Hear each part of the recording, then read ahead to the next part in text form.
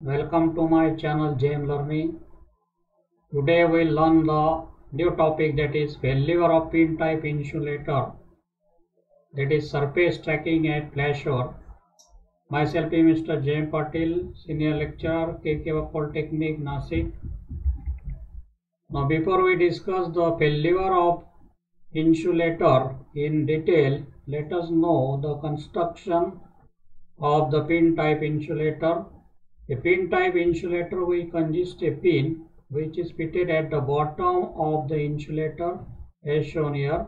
Now this pin is usually made from the galvanized steel and this pin is inserted inside the insulator with the help of a lead thimble which is cemented into the insulator body to receive this pin. Now this particular insulator is provided at top a groove.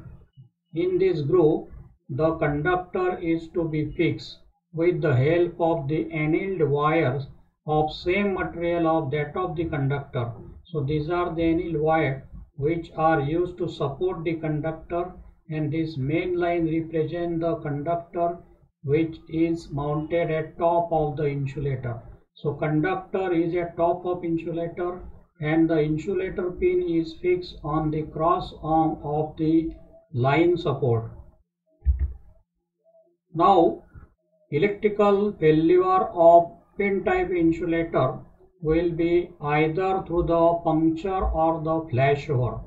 In the case of the puncture, the arc passes through the body of insulator that is through the main body of the insulator if the arc passes when the electric stress rises at very high value then that will be called as puncture of insulator. The second case is that of flashover. The flashover is caused due to the arc discharge between the conductor and the earth through the air surrounding the insulator.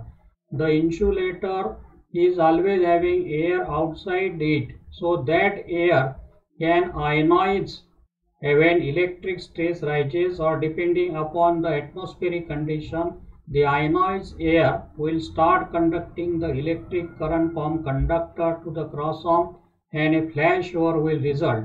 How this happen is mainly discussed in this particular diagram. So the flashover can occur because of two reasons. One is the line surge voltage and another is the formation of wet conducting layer over the insulator surface. The conductor is connected to a power system network and if certain fault take place somewhere then there may be a development of surge voltage. This surge voltage will be flowing through the conductor. In that case as the voltage rises very high value in a very short period of time the electric stress from conductor to the pin or up to the cross arm will also increase. This electric stress or electric potential gradient is sufficient to produce a flashover or arc between the conductor and the uh, pin or what we can say the cross arm. Now in second case that is formation of wet conducting layer. It is the phenomena which usually take place during the rainy seasons or when the air contains the high value of the moisture within it. Content of moisture represent the water molecules presence in the air which surrounds these insulators. So here we are discussing two cases. What happens when air is dry? When air is dry, if a flashover has to occur, then it has to cover the distance A, then distance B up to this point and distance C. So the small letter A plus B plus C represent the total length for the leakage current to be passed over the surface of insulator when the air is dry.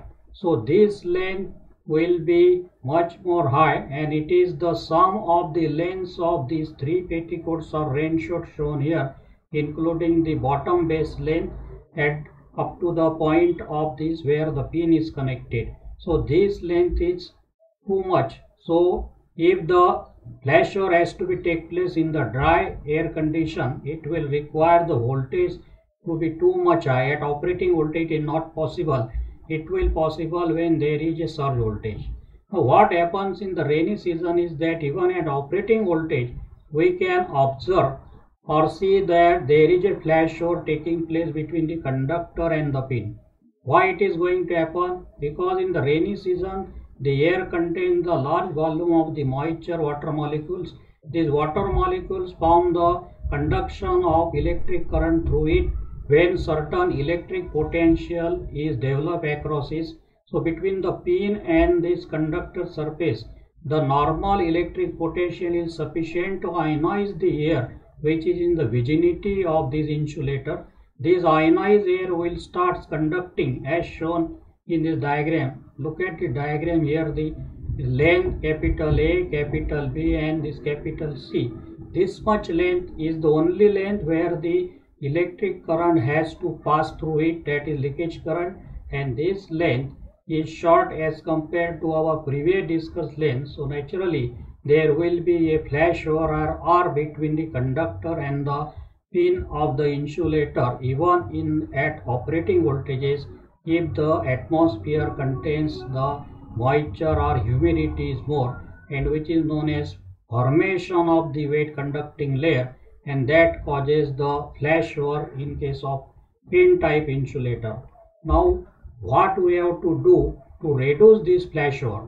As earlier discussed, if the length is more then we require higher voltages to produce a flashover and in wet condition the length decreases so to increasing the resistance for the leakage currents. The leakage current is to be minimized. So it is possible by increasing the resistance of leakage current. Now the length of the leakage path is to be made large by constructing several layers which are called as petticoats or sheets.